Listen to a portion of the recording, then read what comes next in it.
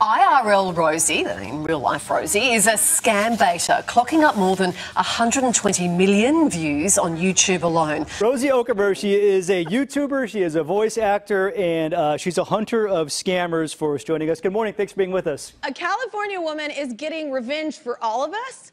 Get this, she prank calls the scammers and records her conversations. Everybody, please welcome Rosie. You stand up, ma'am.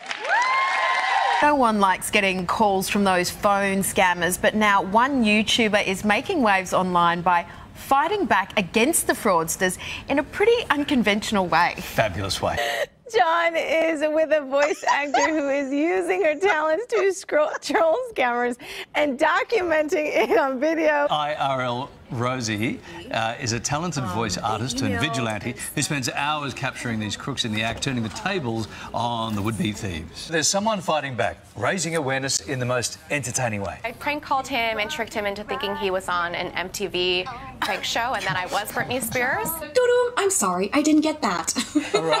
I like to be was, I was favorite. dying when I first saw that. Uh, you've also pranked a scammer using Kourtney Kardashian's voice, very distinctive. So, so give us a little bit of a taste of that. and just everything is really flat, and she says her S's very differently. And you know, she sort of makes every word sound like a question at the end.